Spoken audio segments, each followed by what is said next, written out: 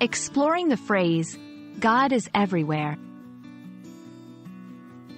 Hello everyone, and welcome to our English language learning series. Today, we're diving into an interesting phrase, God is everywhere. This expression is not only common in religious contexts but also in everyday English conversations.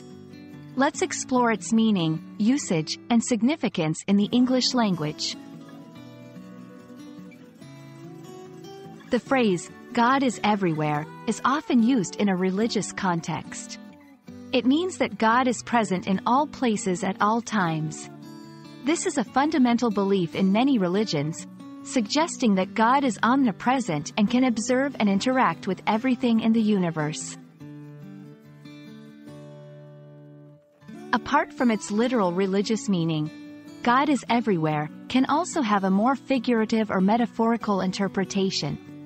It can suggest that goodness, hope, or spirituality can be found in every situation, no matter how difficult or challenging it may be. This usage is common in literature and everyday speech to convey optimism or faith. In everyday English, this phrase can be used in various contexts.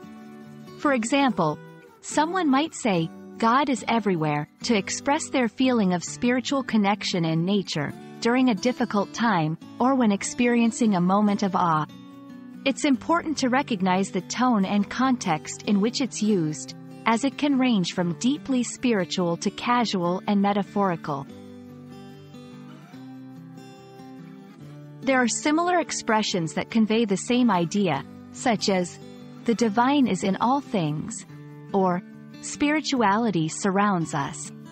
These variations are often used interchangeably with God is everywhere, depending on the speaker's beliefs and the context of the conversation. We hope this video has helped you understand the phrase, God is everywhere.